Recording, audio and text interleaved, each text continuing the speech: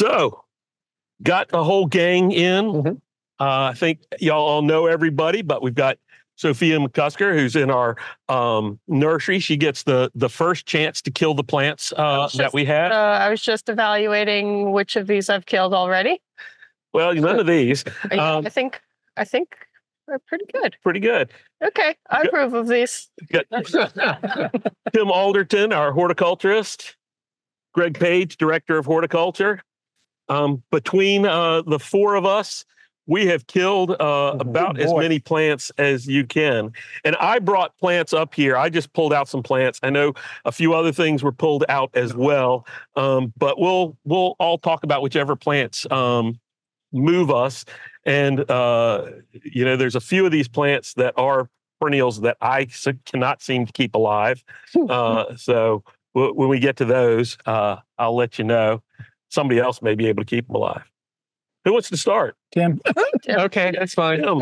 So, uh, for me, you didn't have any sages originally, and there's um, I'll move this out temporarily. In the comments, Tim Tim did have had he had things So- to say about my sages in the nursery because he was like, "Oh, well, those are blooming in the garden." Yeah, I Those are have from the garden. like these are all from the garden this morning, and salvias. There's so many of them. Um, most of these are uh, actually.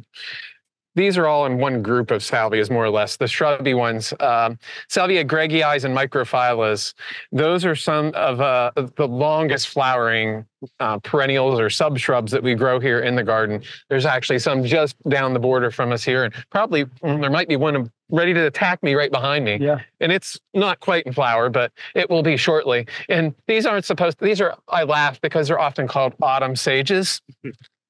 What's today's date? What did he celebrate yesterday? Kind of first of first thing of spring, and yeah, these are all in flower uh, and ahead of schedule for this year, I think. But there, these are just one small group of salvias. There's tons of other salvias. If you can, if you kill these salvias, there's other salvias that you, I'm sure you can grow. These will actually take it very um, dry for the most part, but they'll grow in our average soil here. Don't need irrigation once they're established.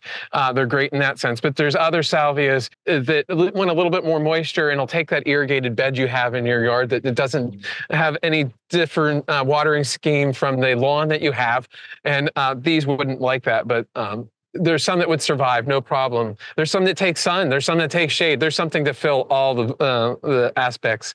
Then I have these. This is um, Salvia Blue by You. I often poo-poo some of the Salvia nemorosa types, uh, but this is one that really impressed me in our trials last year, and I have it in a, a couple spots in the garden already too. Um, but this is a Salvia nemorosa pratensis hybrid, and I've done a little bit of deadheading to it. I have it at the far end of this border, and I have it the rose garden, and um, it. They were, I mean, they're flowering already in the garden. They were flowering in January. They And were flowering in, moonlight. in moonlight. They were in full flower.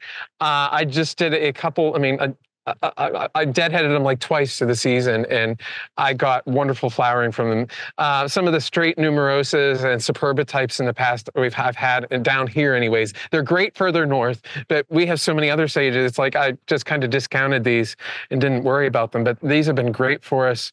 Uh, this one, especially Blue by You, which is actually an All America selection too. So, Hmm. and I think we're going to have this one in our plant sale here in the next few weeks. It's in so, the it's in the nursery. It's So- be- So yeah, so our plant How sale tall? for yeah. those of you who, li- who want it, that is the last uh, weekend in April, but the online plant sale opens for members uh, earlier than that. I am not going to try and get you a date because dates don't stick in my mind. April third. April 3rd maybe. sounds about right. our our plant sale will open, and there's actually besides this, there's a few things that I pulled from Mhm. plant sale um, areas in the in in the nursery. Um, but that's only for members on April 3rd. That's online sales. We do not ship plants. You'll have to pick them up here. And then the following Monday for non-members. Uh, so anybody who hears um, about some plants that they like, you may in fact be able to get them. And some of these will be available uh, in June at our auction, our Southeastern Plant Symposium auction. I know this I dug out of my own garden for the auction. So Those look really good. Yeah. I like those are really cute. In the background, uh, you, you didn't see it, but we we're motioning. Now, how big do these salvias get? And in particular, this salvia Blue by You is about 15 inches or so, 12 to 15 inches. Uh, and some of the Greggii are about two feet. Well, there's other salvias that only get six inches tall. There's others that get four to six feet tall. So again, if you kill one of them, there's uh, another one to try, and there's another one that'll fill a void that you have in your landscape. I'm sure. yeah. The color palette that the Greggii come in is what I like about them. And there's even pale yellows. I don't have any of those in the I garden mean, right now in flower, but if there's a color you like, chances are it grows. It it, it comes in that that particular plant package. Um, from white, I mean, just the amount of color that he got today. I didn't keep track of which ones I picked, unfortunately, because I have so many of them. Now, if you do want to kill those, plant them in shade. Or water them excessively. water them excessively. That's that's how you're going to kill them. And really, the only care I ever give mine is uh, I don't like to cut them during the winter, really. But um, once they get through this, the first big flush of flowering in the spring, it's always difficult because you're going to cut off flowers if you trim them. Mhm. But I give it a light trim. Um, you don't want to cut back real deep in there, but if you give it a light trim, Chelsea that just chop. keeps them. The Chelsea the chop. Chelsea Yep. chop. Uh, that's where you cut it back so that it looks really good for Chelsea Flower Show um, in May. and great for pollinators and Yes, humming. hummingbirds love them, especially like I said, these are starting to come into flower now. The hummingbirds should be here any day now. I'm guessing tends to be in our area late, I think late March I've, and early I've had them April. at my house. Okay. Yep. So um, another plant I have in my little section here is some, and it- it have the, I think they showed my first section of my native plant talk. This is uh, one of the natives I talked about. This is the Phlox nivalis uh, that I collected. It's I just call it near white for now, but um, uh, this is flowering. I have this on our rooftop garden, and it on the in the scree. It doesn't get watered there much unless I take pity on it on a 95 degree day uh, where it rains. Um, so um, super hardy plant again. Uh, this is native to North Carolina. I collected this in I believe Chatham County. So, but there's other phlox. This is a, an interspecific phlox here that we're actually having in our plant cell. This is one of the uh, bedazzled pink here. This is a little hybrid creeping phlox, which is kind of cool. But any of the phlox subulatus, and again, there's a phlox. A phlox are uh, uh, all but one species is native to North America. So it's a a, a native, um, and they range from the highest mountains in the western uh, United States and Canada down to um, sea level. So there's again something that's going to fill a, a gap, and even you can't kill them all.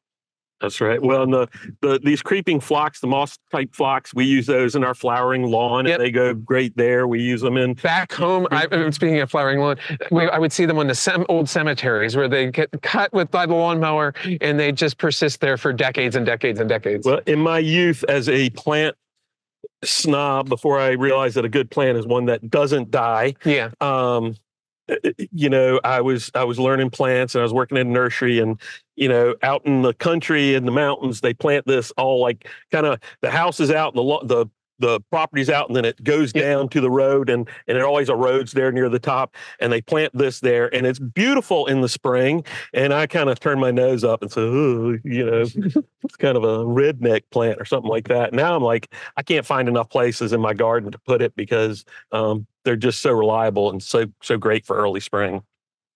All right, who's next? Me? All right.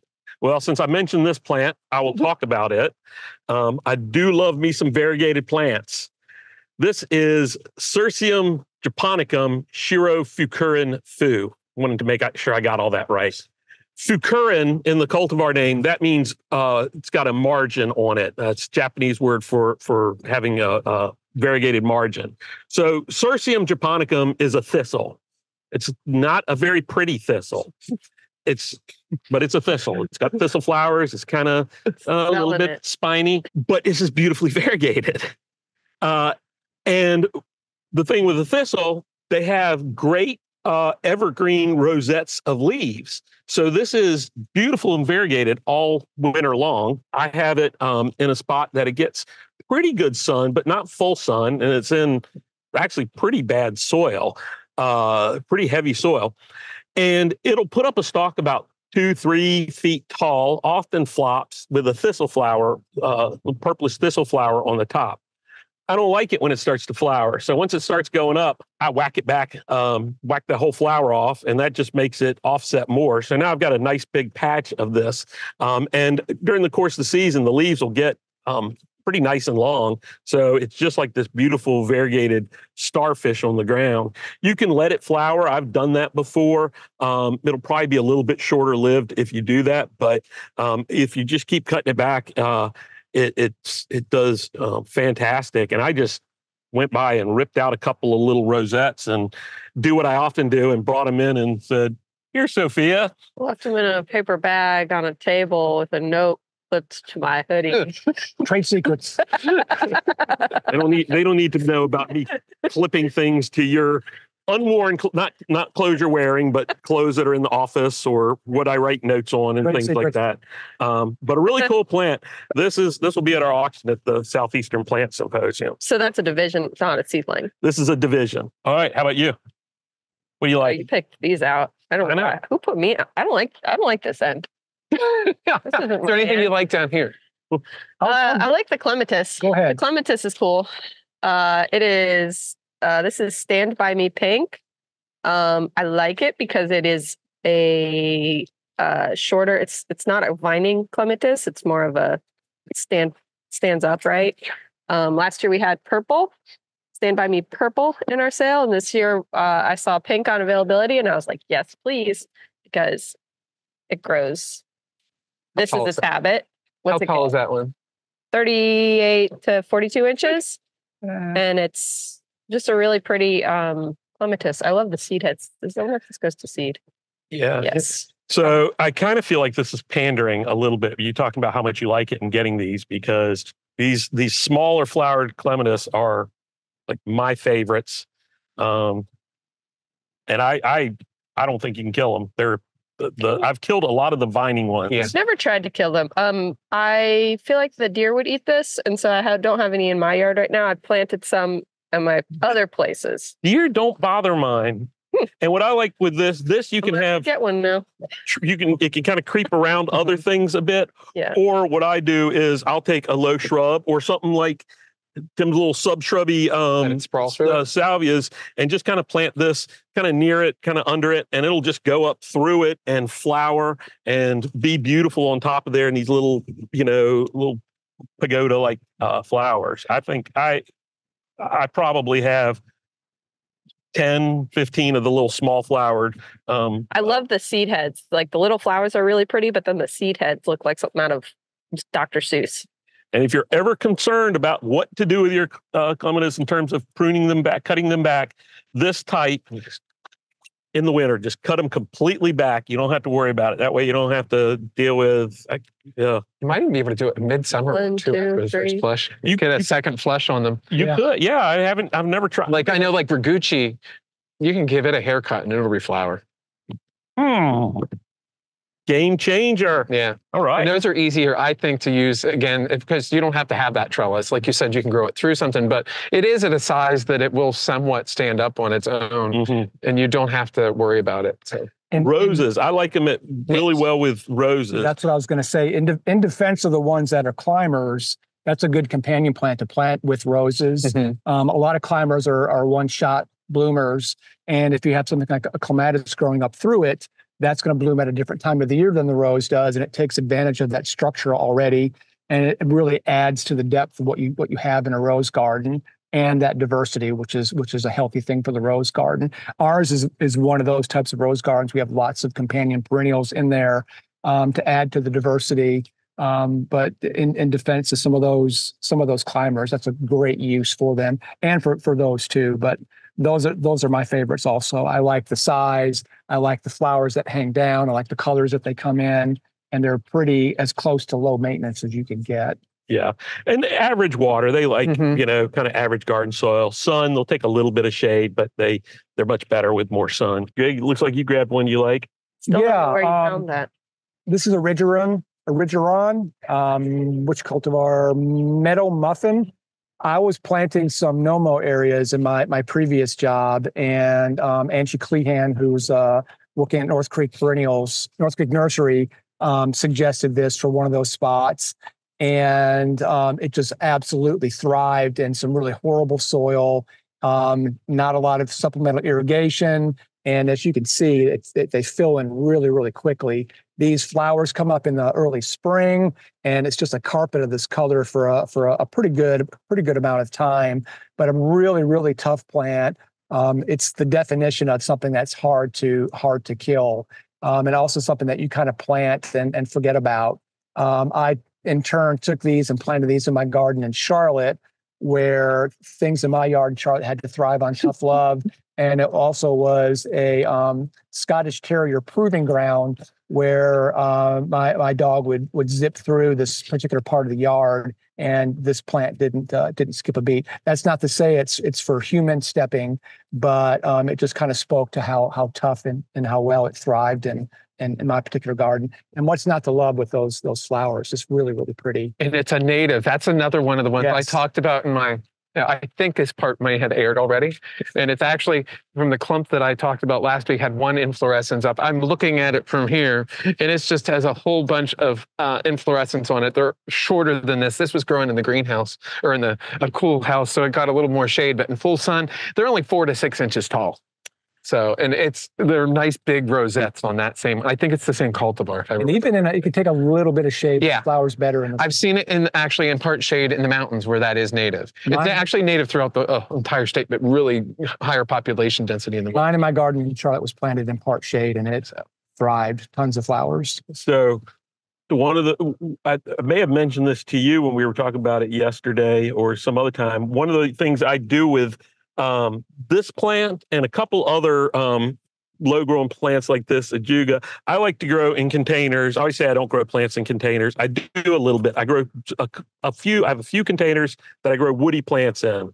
Um, stuff that the deer will eat and kill if it's if I put it out too small, uh, things like that. Um, I have a rhododendron in one right now because I want to see it flower at least once. After it flowers, I'll plant it, uh, and then the deer can eat the the buds for the rest of the time. but one of the things I do to kind of conserve moisture in there is I always plant the the top of the pot with something else.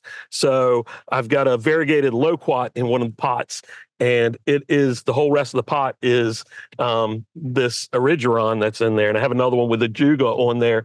But it looks nice. Um, you don't get weeds growing in there, and when it gets watered, it helps hold some of the moisture in there. And it's just a really easy um, plant to do that with. And I started with a plant probably growing in one of these little size pots, not even that big. And I had divided it and moved it. And the one thing I will say is while your little Scotty uh, didn't do a number on it, my dogs have never had an issue with it. My daughter's dog, who was living with us for a while, loved it and did kill out a big patch of it in the middle. But it's all since the dog's been gone, it's growing back in. I think I've got a clump of that from here, or one that you gave me, Tim, and that's it's gone wild in my yard. It's only I think I planted it last year. It's Yeah, one of the ones It that doesn't like take long. it's one of the ones that like I sat on my porch for way too long. We won't talk about it, and then I stuck in the ground, and then May have watered it. And my yard, my front yard has really bad deer and rabbits, and Yeah. I've been impressed with it. Yeah, the Yeah. rabbits have not bothered it here. Rabbits, deer. All right, back to you. Okay. We may get through these. okay. Um, let's see. What- what's- um, actually, Alstroemeria. Yeah, that's a good one. This is Justin Bud here, but this was growing in the nursery. But I have this actually just down further in the border. This is a really cool one. This is Alstroemeria and um, Tresronto, I think is how you say it's uh, uh, improved is its real name. But you'll find this one is Indian, I mean, Summer Paradise Indian. Oh, darn, the trade name is taken off. Indian. It's Indian summer, Indian summer. summer paradise, Indian summer. But this is um, an orange red uh, flowered Alstroemeria, or, you know, Peruvian lilies. Uh, the the flowers that you see on every uh, table, like at uh, at a lot of restaurants now, they're in, they're in every bouquet nowadays. But uh, this is a really cool one for us. It's fully hardy, orange red flowers, but has dark foliage to go along with that. Yeah, and this it's- is not showing the foliage the best. No, effect. this was again was in the greenhouse, and actually a little bit of shade keeps it from forming that dark color. But um, it's still this will flower off and on the entire summer, especially if you uh, deadhead it between uh, flowering. And how you deadhead them is you actually pluck the whole stem out uh, of the ground. So it doesn't hurt to cut them that way too. Gives you a longer stem, and then that encourages it to uh, throw new buds up off the stalk um, instead of cutting it at the base. It's like asparagus. Um, but anyways, I love these, these plants, and this is a compact one. There are some other alstroemerias that get a lot taller. This is about as tall as this cultivar has uh, been getting for us. And, and some of the old alstroemerias used to grow the the parrot um, flower types, the Yeah. psittacinas. Uh, they would go crazy. I think they're beautiful, Yeah. both the variegated and the green, but they would run. This doesn't run like that. And I saw this for the first time out in the West Coast and fell in love with this Indian summer. It's just, it is spectacular. I saw it at Plant. Dan's. Yeah, at- at yeah. Windcliff. That's the first Yeah. place I saw it was in his garden. Yeah. I think I had we had it in the nursery at the same time, but I didn't hadn't seen it in the garden until I was at Dan's. All right. Is it me next? Oh, well, yeah. before I talk about plants, I want to remind people that it today is Day of Giving, and you can go to jcra.ncsu.edu and uh, give us a, a little bit of love for uh, all this midweek programming we do. Uh, Ten dollars for all this free content for the past four years. Holy cow! Um, would be ama- amazingly helpful. All right, my next plant is this Polygonatum zhejiangensis. I'm glad you got So to say that. from Zhejiang, and really, I have uh, polygonatums are plants that I just I love. I love. I love them. I don't know why. I just find them very cool. We call them woodland lilies because they are related to lilies, um, and they grow in shade, which I have a lot of shade. Uh, I don't have any problems with deer or rabbit eating them. Every once in a while, a rabbit will come through and just nip the top and it'll flop over and, and fall. This is a relatively new one um, for me to grow, but this will, if it's out in the garden uh, and gets mature, will get six to eight feet tall. It is so insanely huge um, on big, chunky stems. And like I said, I haven't grown this one for very long, but I have one at my house that is evergreen. So I was going to say, was this an evergreen or a deciduous one? This is an evergreen one. It still looks good out in my garden. Hadn't gotten six feet yet, but it is hard. You can't tell this probably, but the rhizome under here is distorting this pot here. that way or one way? You know, it is. It's. I can feel it trying to bust through here, and uh, probably another two months in this pot, and it will come right through there. Um, the, the all the polygonatums we have some some native ones uh deciduous ones a lot of different types but in general they'll have you know upright arching stems little white or green flowers fo- followed by black fruits and i love them all. This is not an easy one to get right now but all the polygonatums are great and this one looks so good in the nursery i couldn't pass it up. I mean look at that. That's last year's foliage and it still looks absolutely perfect I like just the general odoratum variegatum, yeah which it, it's a wonder. It's one easy to find. And another thing, if you get too much of it, because it does propagate, it's actually nice in a salad. The rhizome in the spring, it has Really? a little appley flavor to it. So it, it'd be So- a fresh salad. And that old, the old So it's a dual polygonatum, purpose. odoratum variegatum, I probably, I'm terrible combining plants, but the, I probably have more pictures with that, with hostas, with you name it, any kind of shade plant, ferns, and it's just always one of those plants that makes a great um, combination with other things. It doesn't doesn't compete with anybody else. Now you, what do you like? You got phloxes, dianthuses. I talk about the dianthus. I don't have a ton to say other than I I picked it out because it's pretty, and they're one that I like. They were one uh, when I was doing landscape work. I would always try to fit a dianthus in on the edge because I loved, um, I love that edge that it makes. They're pretty. Um, I feel like you could probably kill this with water. Um, Yeah. They do not, but in the garden, that means you don't have to water them a ton because they once established, they don't need a ton of water, and they just make a really pretty um, clump, and they spread and they're so bright and cheerful. That one fragrant? no, Okay. This like is um, fragrance. this is paint the town fancy. I mean, I I would just buy this for the name. Let's be honest. it's I don't smell anything. Yeah, I get a little tiny Here, bit. let me see. No, There's a light fragrance. Let me see. Oh, It has a little bit of clove. Yeah. And I, I love down. a fragrant uh, a dianthus, but those are great. around The, behind the camera too. the, the, the, the uh, low spreading ones. Smells like chicken. It's just a very light one. When you get a mass of those, I'm probably guessing uh, you probably have some more fragrance. Yeah, one thing I like to do with my dianthus is shave them back um, after they finish flowering, and I just go over with the lawnmower. I don't get all precious with That one you can do anything that like with that. because that one only gets yeah, it gets low. three to and- six and inches you tall. kind of shear off the top, and it'll look a little bit brownish for a little bit, and then it'll fluff out over that. But if you never cut them back, they can pile up on themselves and kind of choke themselves out over time. That's another one I used to see on cemeteries back home in Pennsylvania. exactly. Yeah. What iris is that? This that is the- Ming Treasure. Oh, yeah. The big one in the little pot there. But I've been really abusing that one. That I one's was- in a very dry say. spot in the nursery. I have it in the garden down here in a couple spots. I mean, it's not dead yet, so It's not. Irises are, are pretty forgiving, um, and I like this. I don't know much about this one. Um, I'm going to do a, a spiel, uh, wax poetic about irises in general. Um, I really like the foliage of them. Um, the Japanese uh, uh, rooftop irises are some of my favorite because of the foliage. They bloom early in the in the spring, um, but this one has nice clean foliage as as you can see. Um, these typically avoid a lot of the the issues you get with uh, the great big showy ones. Um, what am I thinking of? The Boars. Uh, the borers that that that affect them, um, and other things. There's some leaf eating insects that that rip them to pieces. But um, I'm blanking on the color of this one. It's I'm not purple. real It- it- it. Purple. And what, So do you remember the history? yeah, yeah, I can hybrid tell you a little amendment? bit about this. This is one that was just recently named Iris X ampliflora Ming Treasure. Um, it's it's a hybrid, a naturally occurring hybrid um, found by a researcher at Shanghai Botanic Garden who um, went out with Scott McMahon and I went out with uh, a couple times uh, collecting some plants. And this is it's interesting you say that about the roof iris, Iris tectorum, you like that because this is like It looks like a, that. a roof iris on steroids. Yeah. Foliage will get three feet tall. Flower stalks can get five feet tall. I've got a picture of a spent flower stalk with uh, a young man who's much older than me, uh, with it up to his his nose. Um, so it d- looks like a little guy in this pot, but it will get really big. I have it, it, it grows in wet areas, but I have it in the most brutally dry spot in my garden.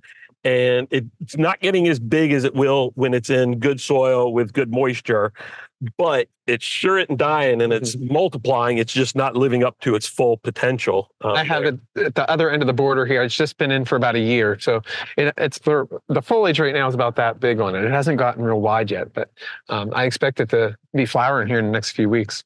Ribbon wants to know how long you can expect it to mature and flower after planting. So if you plant that in a good spot, I would say Next growing season. Probably, yeah, next growing season. Maybe one other year if it was really abused. All right. Uh, gotten an update. I like getting these updates. We are up to 169 gifts uh, out of 250. That is our goal. So we're inching closer to that 250.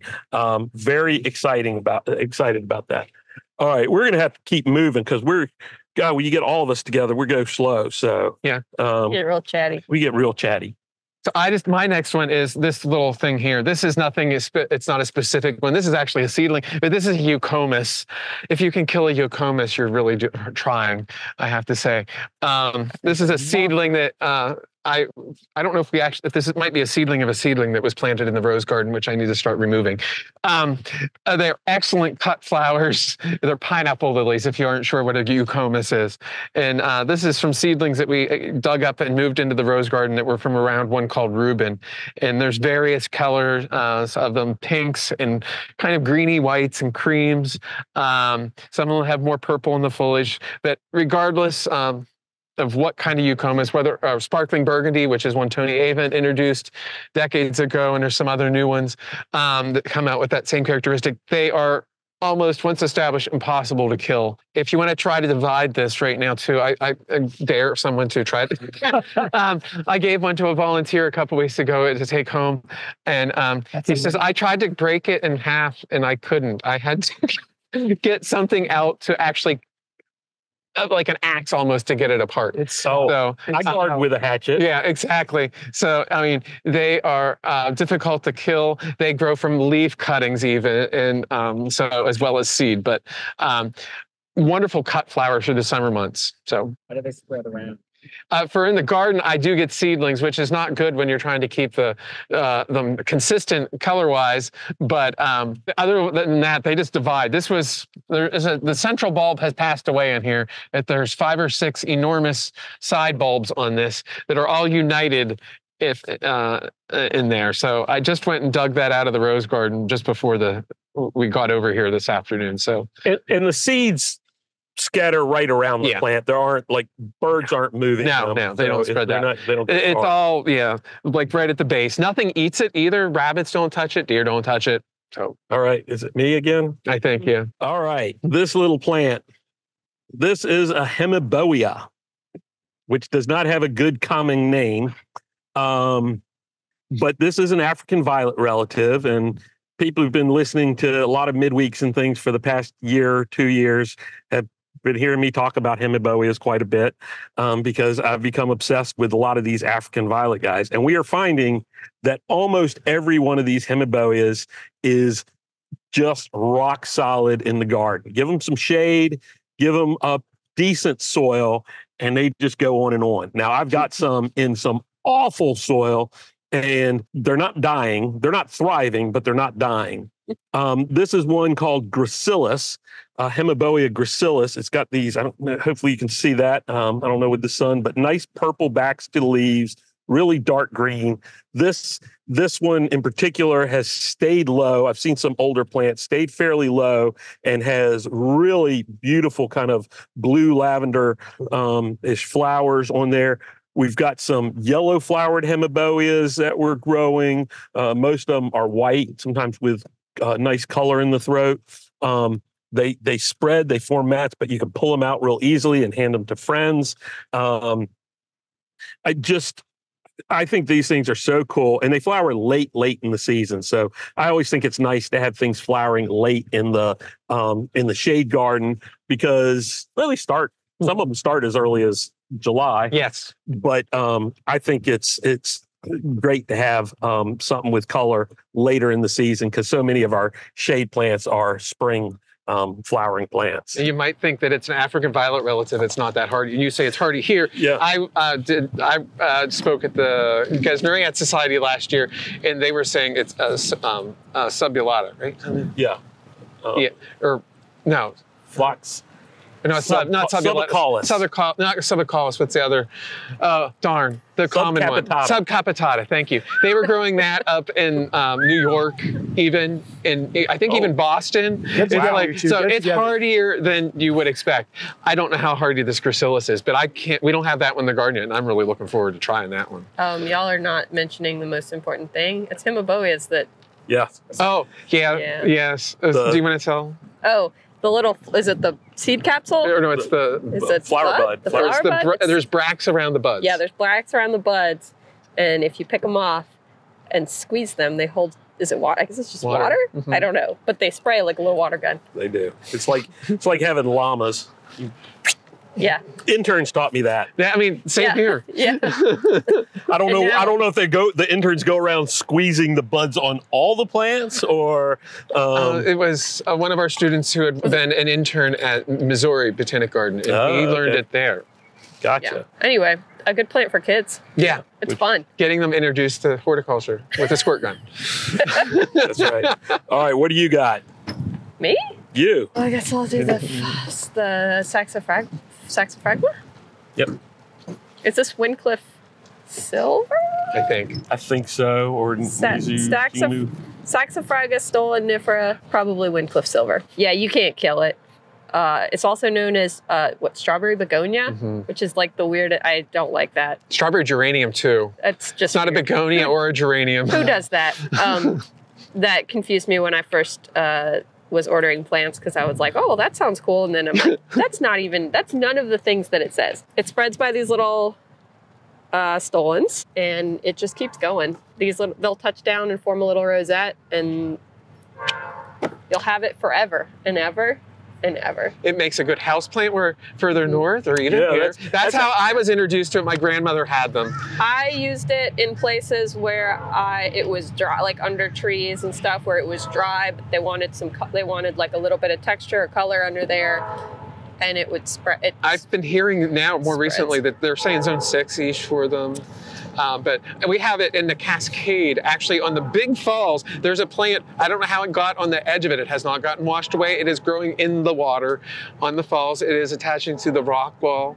Uh, is this in the nursery?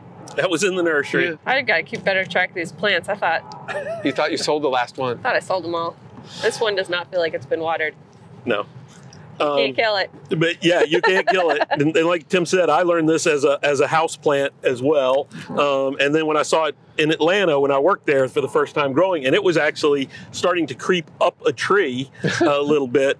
And I've planted these. I've been starting to plant things in trees. So I had a tree where the the little crotch in the tree had was you know picking up some some little uh, some moisture some duff if you will there and so i put it there and i'm waiting to see if it'll really take and you know hang out of the tree like epiphytes i'm, I'm going to pretend like i live in the tropics and like tim was saying it's it's growing on rocks in our um, little waterfall out front cool stuff Is that a Ophiopogon or a clump of annual bluegrass? No, that is a, This is a- an an Acorus. Yeah, I don't know much about that. Okay. all right Yeah, here, Mark. You're gonna have to finish these up. How about the Baptisia or the Farfugium? see greg greg we got Greg here because they're an arboretum, and Greg's a woody plant guy. And then we pull him out on camera with a bunch of mushy plants. With this guy right next to me, Well, so try to keep track of time here. We still have time. All right. I could do the Baptisia. Yeah. Which one is that? Oh, I don't know. Uh, didn't even American Goldfinch. American Goldfinch. There are a lot of different cultivars of Baptisia. I'm going to go out on a limb and be um, a rebel and say there's too many. Um, I, I tend to lean towards the yellow ones, and I'm going to go out on another limb and say American Goldfinch is a yellow one. Um, It's a Sphaerocarpa hybrid. It is. It is bright purple. bright purple. It's the wor- one of the worst names. No, no, I'm not serious. No. Um, It's I a need to purple fish, the- not a goldfinch. I need to talk to the naming department and proven winners. this this falls into the native plant realm. It's a good it's a good perennial for I'm going to say first time gardeners because it, it is incredibly hard to kill. Um, there aren't a lot of pests that bother it.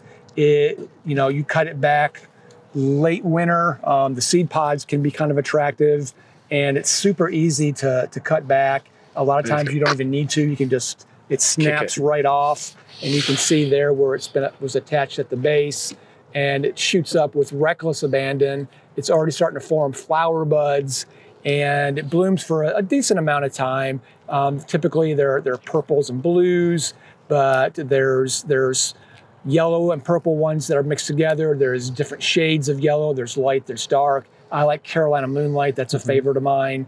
Um, a nice mound of really pretty green foliage, very, very drought tolerant. Um, a good kind of a meadow plant or even a, a prairie kind of a thing. Um, it's great for that. It can take dry, um, dry soil. Does better in, in full sun. Doesn't doesn't do well with with shade on it. But once it blooms, a nice green, solid orb of, of foliage. Not a lot of fall color to speak of. The seed pods are kind of a dark brown, which are kind of attractive. It's super easy to propagate from seed. Um, from a pest perspective, there is a leaf miner, uh, a webworm The, yeah, the web, the, That- that- the little caterpillars. that, that gets on it. That's easy to take care of. If you if you catch it early enough, just cut those pieces off. Deer don't eat it though. Deer don't eat it. I've not seen rabbit nibble on Mm-hmm. it. Um, it's a really good perennial. Um, it's a good gateway perennial to get you into gardening with perennials. The only thing is, you do not want to. It's not one of, for that person who likes to move everything around. no, It, they want to be planted and left alone. they do. They And Like a they'll, peony. they'll show you their displeasure about being moved around by breaking your shovel when you try and Yeah. dig out a, Yeah. a mature one. very deep and, and heavy roots, um, but a, a- a really good perennial and one that um, there's there's a spot in any garden for them. I've loved watching them come up in the nursery. I love like emerging buds Yeah. when they like start to no like down at the base. Yep. The when they first- emerging- when they first come out. Yep, they're so sweet. Yeah. And one thing you can do, what I like to do is not cut it back at all, and just let it absize, and it Mhm. becomes like Just this big uh, uh, Tumbleweed. tumbleweed, looks like and a will tumbleweed. blow into your neighbor's garden, Yeah. which is Yeah, perfect because their then they'll dogs come in my seed- garden. I remember Then when I seed in there, then was you'll be looking at someone else's Plant baptisia. Yeah. That's right. Actually, I do. I cut them back when they get the um, webworms. I'll cut them back And they reflush. hard and let them reflush. They Yep. don't usually reflower for me, but Yeah. they do reflush. So I, do we That's a still have time, right? Yeah. Yeah, we got. We've got. some Okay, time. so here's one. It's actually one you collected, as you know. Um, this is a Tricyrtis. This is Ravenii. This is one of the newer species of um, Tricyrtis, probably early two, around 2000 was it Yeah, recognized as a species, named after Dr. Uh, Raven, who was the director for a long time at the Missouri Botanic Gardens. Uh, really attractive spider, or, I mean, trout, or bleh, toad lily. Get the right critter. Uh, uh, the flowers for us anywhere from I'm going to say as early sometimes. It's been later the last few years, but it used to be I'd get it in August and September, uh, but through frost. Nice uh, tr- or toad lily, uh, speckled flowers, which almost look jewel-like um, when you get the light on them, and they're white with purple flecks on them pretty often. And this is a nice one. It's a this one is a nice clumper. I mean, it, it'll form patches like this big, um, but. Uh, the foliage is nice. It's I don't know if one can see it. Going back to Glossy. the, the is, this is very glossy, but it has speckles on it like that of a trout lily at this time of the year in the garden um, or in the wilds around here. So, anyway, it's just a really cool perennial uh, for the shade. Um, and it's one, it's becoming a little more available, but it does great in our climate. and all the toad lilies. I kind of they were one that ones that I fell deeply in love with, and then kind of fell out of love with, and I'm falling back in love with them. I haven't done Uh, anything to it since I planted it, and it's still, it sustains itself. Late bloomers typically. Yeah. Yeah, which again in the shade garden you don't get a lot of that, Mm-mm. um, which is which is really nice. I love toad.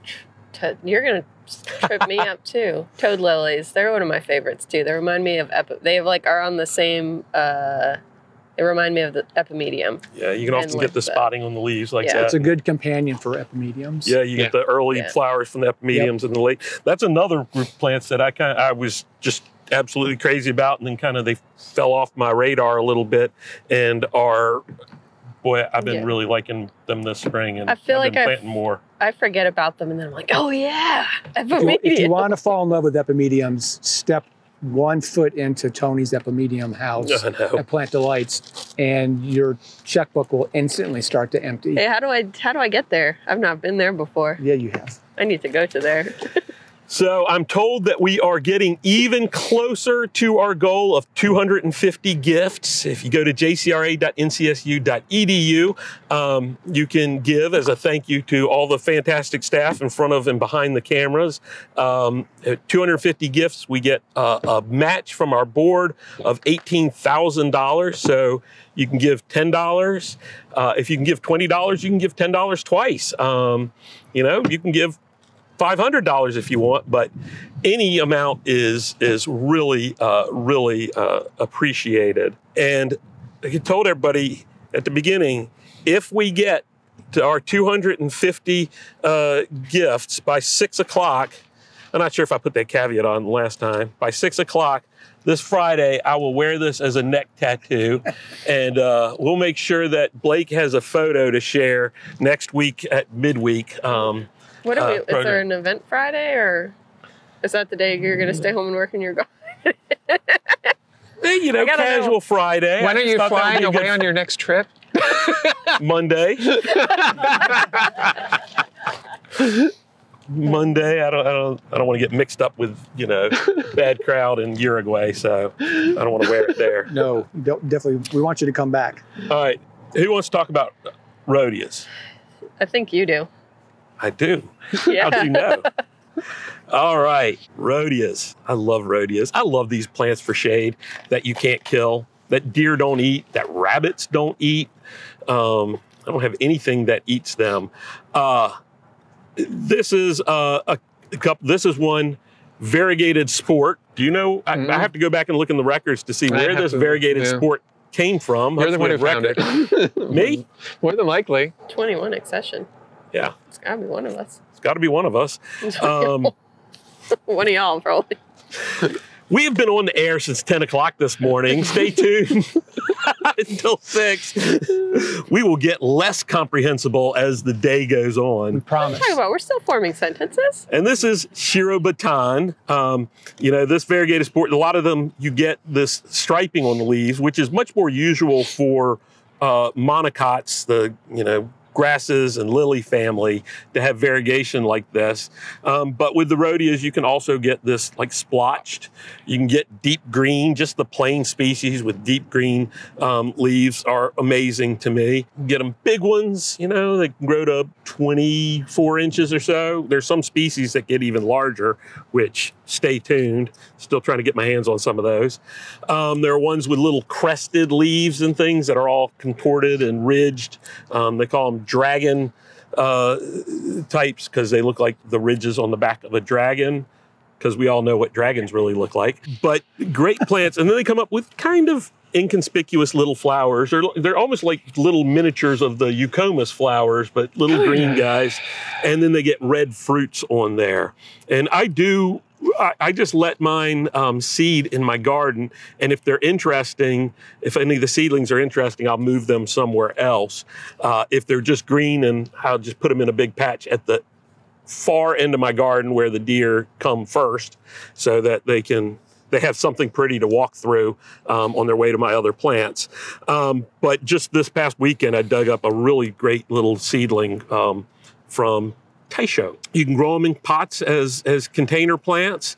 I actually grow some of these in containers outside, and I like them because you can grow them in really small containers like this, and not worry about watering them. They're very, very drought tolerant, uh, and but then I can leave them out in the pot all winter um, and not worry about them, you know, getting getting problems with the cold. If they get they'll get some cold damage to the leaves, and you just trim off the new leaves as the the old leaves as the new leaves are coming out, and they'll they'll form new rosettes on there, and you can divide them um, into single fans like this. Uh, and in the in the garden, they really have really no problems to speak of. I love them. All right, there are some plants that that you can't kill. I brought a couple that I keep killing, so Tim can tell me that he doesn't kill them in the garden. The first one, this is actually a, a seedling from a plant that I collected with Tony Avent in Taiwan in 2008 and then collected again in 2009 in Taiwan. It is uh, Ligularia Or Uh, Farfugium. Farfugium, thank you. Farfugium japonicum variety formosanum. So the uh, the Taiwanese form of uh, what you often see is the leopard plant with um, leaves that are spot, speckled with with gold on there. Really great plants. Uh, this is a small form of that. The Formosanum, much smaller, has kind of more angular leaves, has the same flower stalks late in the season with gold flowers. This plant I keep killing. I don't remember if we still have that one in the garden now or not. I, other than I replanted some over there. The the Aureomaculatum I had beautiful patch though in the Japanese garden, but the rabbits have like one leaf every night I would find. They wouldn't eat it. They just leave it for me on the bench, the stone bench. Oh, And nice. there's almost none. There's none left now. And that, that was during COVID. It started. yeah, yeah. And there was no one here. The rabbits got, get, the rabbits. Rabbits are They're jerks. they're jerks. They're Thank jerks. you.